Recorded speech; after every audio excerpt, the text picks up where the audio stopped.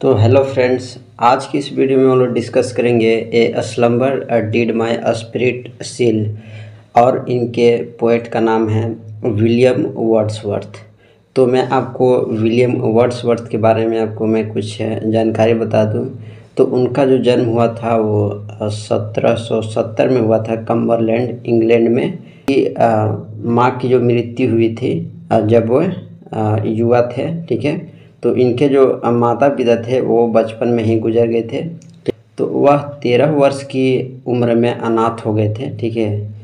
और सत्रह सौ इक्यानवे में कैम्ब्रिज विश्वविद्यालय से उन्होंने स्नातक की डिग्री प्राप्त की, स्नातक की। वर्ड्सवर्थ को फ्रांस की यात्रा के दौरान एक युवा फ्रांसीसी महिला, एनेट वेलन से प्यार हो गया था और वो उस समय गर्भवती भी हो गई थी। तो सत्रह सौ तिरानवे में इंग्लैंड और फ्रांस द्वारा युद्ध की घोषणा के बाद दोनों अलग हो गए और वर्ड्सवर्थ ने अपनी कट्टरपंथी विचारधारा को विकसित करना शुरू कर दिया और इसके तुरंत बाद वर्ड्सवर्थ सेमुल टेलर कोलरिज और दो सहलिखित लिरिकल ब्लैड्स के दोस्त बन गए, जिसमें दोनों लेखकों की कुछ सबसे प्रसिद्ध कविताएँ शामिल है। विलियम वर्ड्सवर्थ की। तो अब हम लोग बात करते हैं slumber did my spirit seal तो मैं आपको बता दूँ कि जो, ये जो पोएम है, ये एक डेथ ऑफ़ लव वन के बारे में है। यानी ये जो कविता है, पूरी तरह से प्रिय की मृत्यु के बारे में है। यानी कहे तो जब कोई अपना जब खो जाता है तो उसके बारे में है। तो विलियम वर्ड्सवर्थ की जो वाइफ हैं तो उनकी मृत्यु हो जाती है और वो जो है, वो बताते हैं कि मृत्यु के बाद जो है, वो क्या अनुभव होता है और मृत्यु के बाद क्या व्यक्ति के मन में विचार आता है कभी कैसे महसूस करते हैं कि जब वह उसकी मृत्यु के बारे में जब वो सोचते हैं, वह मृत्यु के बाद उसकी कल्पना कैसे करते हैं तो इस पोएम में आपको जानने के लिए मिलेगा। तो पोएम जो है, वो आठ लाइन की है। तो इसको हम लोग लाइन बाय लाइन समझने का प्रयास करते हैं। तो a slumber did my spirit seal एक नींद ने मेरी आत्मा पर मुहर लगा दी हो। I had no human fears मुझे कोई मानवीय भय नहीं था। मुझे किसी दुख और दर्द की आशंका न थी। She seemed a thing that could not feel वह ऐसी चीज़ लग रही थी जिसे महसूस नहीं किया जा सकता। टच ऑफ़ अर्थली ईयर्स सांसारिक वर्षों का स्पर्श।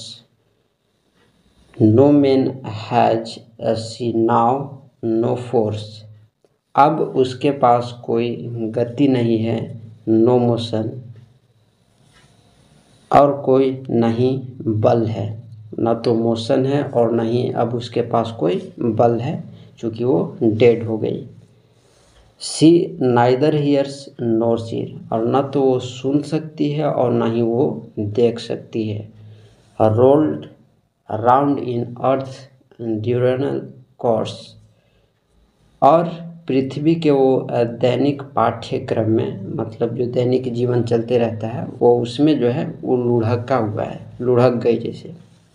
With rocks and stones and trees और जैसे कि चट्टानों और पत्थरों और पेड़ों के साथ जो है वो मिल गई है और दैनिक जो जीवन है, वो भी वो परिक्रमा दैनिक सूर्य की दैनिक परिक्रमा का वो भी अंग बन गई है और वो अब ज़िंदगी से मुक्ति पा ली है। का अर्थ हो गया कि अब जो उनकी जब प्रिय महिला की जब मृत्यु हो गई तो न तो वो अब सुन सकती है, न देख सकती है, ठीक है?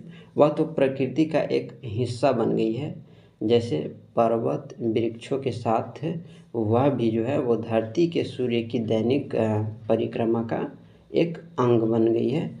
यानी वो जो है, वो पंच तत्वों में विलीन हो गई है। तो ये जो कहानी है, ये जो कविता है, ये बहुत ही अच्छी कविता है। तो ये विलियम वर्ड्सवर्थ है। इस कविता में हम बताते हैं कि जब भी कोई मनुष्य की जब मृत्यु हो जाती है तो वो जो है अपने फिजिकली एक्टिविटी, फिजिकली दैनिक जो जीवन में जो कष्टें होती हैं, उनसे जब है तब मृत्यु के बाद जो है, इससे जो है वो मुक्ति पा लेते हैं। हर कोई इंसान जो है वो मुक्ति पा लेते हैं।